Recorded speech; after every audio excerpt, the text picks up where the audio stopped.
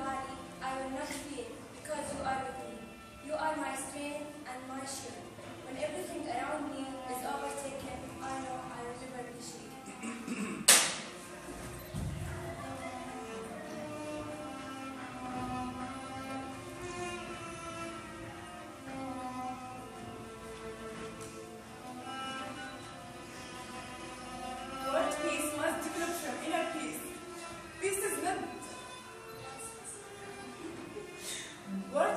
must develop from